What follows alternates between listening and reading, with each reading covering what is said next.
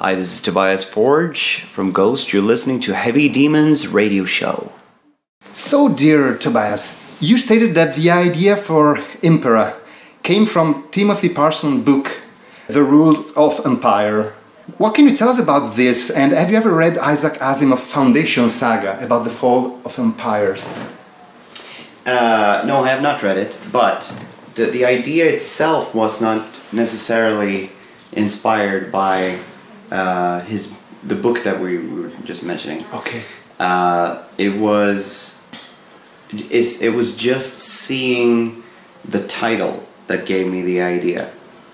I was in a in a bookstore in Seattle, Okay. and I was already working on different themes for different records. And then I saw the book, just the the, the, the spine of it, and it said the rule of empires and why they always fall apart or something like that. And that's when I came up with the idea Yeah. right there and then I was like, ah, I'm gonna write a record about empires, which is gonna be very different from the record that I also had in mind, which was about the plague. Okay.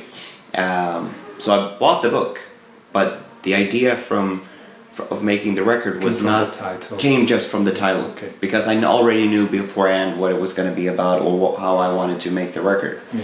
And Um, yeah. How was to reunite with uh, Klas Åhlund and also working with Andy Wallace for the production of the record? Uh, pleasurable. It was nice. Um, you always, uh, uh, anytime you work with someone again, there's always a um, a sense of uh, uh, you want to, you know, redo a few things that you might not Yeah. it's not always exactly. And and when, it, when we're talking about making a record it's not only like oh the record didn't turn out good. It's, it's not it's not that Meliora wasn't great. It was just that practically when you make records there are so many ways you can make it more efficient. So there was a lot of that that we wanted to make better than we did on Meliora and I think we did.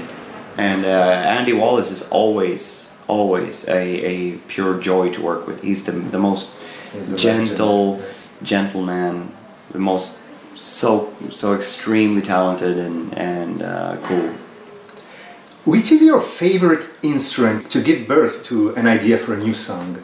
Where do you start from?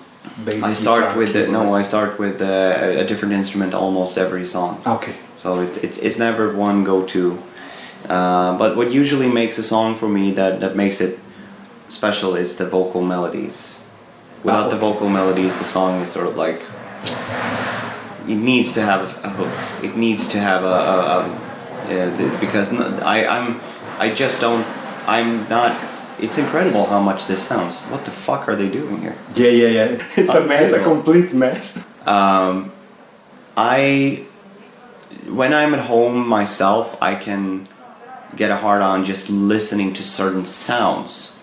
But I don't get that when I'm making music myself. It needs to have a hook. It needs to have a point. It cannot just be a background. It needs to have a story. Yeah. So for me, the vocals is always the thing that makes it alive. yeah. So. While when it comes to compose and arrange a song, which are your criteria to choose the people to collaborate with? I mean, I am personally in love, thanks to you, with Vargas and Lagola's way of doing music. Right. Um, with the the people that I have I have worked with, it's very much a chemistry thing. You know, you work well. Uh, you have fun together. Um, and, and it, it's kind of collaboration with people is not to be taken for granted Yeah. you know because you can't really look at someone's resume and just like oh i'm gonna work well with this person. It's like saying like oh that's a beautiful girl Yeah. in my case then if i uh, get together with her we, we will have a wonderful child. It, it doesn't work like that. You know it's all about chemistry. It's all about um, Synergy. yeah and and and and building something. And i you know I, i've tried to uh, i have meetings. I've tried to work with some people that are just like it doesn't work it doesn't work Yeah. uh, but with with uh, Vargas and Lagola, it works really well. Every time we we get into the room, we have a lot of fun, and uh, anytime I bring an idea to them, I know that we're gonna um, we're gonna sort of mold it into something really good. So I feel always good about working with them. Yeah, yeah. What do the Italian bands Death SS and Devil Doll mean for you? Devil Doll definitely has a uh, has an extremely special place in my heart because of uh, because it's so fantastically fucking good. Um, and uh, also it, it, it's um, they were so they he I guess Yeah. wrote so much unique. I mean, you you could sort of call it, you know, it's it's like a, like a dark gothic Marillion, if you will. Yeah. Um, but it's such a journey, and I started listening to Devil Doll when I was like 14, 15. So it's they've always or the, the- especially I, I started listening to Devil Doll when when uh, Dies came out. Yeah. Um, and that record, I think that is my favorite just because that was my first, and then I started exploring the others. Um, yes, I must have been 15. I think it came out in 1996. Um, so that has always been very inspiring for me. I always found the, the vibe and the whole aesthetics to be extremely cool, very inspiring, such a crazy universe to be in. Uh, he seems to be playful in the same way that I want to be playful, you know maybe I'm playful some somewhat because I listen to Devil Doll. Um, obviously, Death SS is a little bit more of a traditional sort of Yeah. rock metal band. Uh, I've always been very fascinated with their image and uh, and, and their uh, the totality of their career has been um, inspiring. Um, yeah, I know. You know, I've, I've, I've been fascinated with with the stuffs around of Yeah. them as well, like with Paul Chain and all that. And there's always been there. There's an air of. I think that there are several bands here from Italy that has that sort of ambiance of of um, I don't know what to call it. There's like this Uh, aura. the the aura of uh, of um, Catholic horror, Yeah. uh, which you sort of like see- in the movies, like, like, horror yeah, like movies. Lucio and- Fulci and Bava and all these film filmmakers, and the music that a lot of people wrote for that, that it sort of lives on through Devil Doll, Death SS, Mortuary Drape, Yeah. um, Dracula. So. yeah, Jacula, yeah. And, and oh, a lot of prog. I listen to so much old Italian prog. Yeah. Um, but you hear that sort of. There's a certain vibe that is very uh, cemeterian, yeah. and I like that. What would Tobias be doing today if Ghost wouldn't have become what they became? Music, anything else, acting, movies?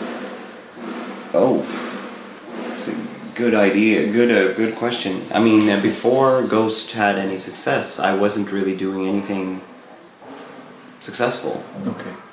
I was uh, I was doing bands and and um, I mean Ghost would have I would have continued doing Ghost, but if it hadn't had any success, um, I don't know if that was your question. If it hasn't, if it didn't exist at all, or if it if it it didn't have any success. Yeah, the second. If, Yeah. Yeah, I mean, like a, a, a- normal underground band.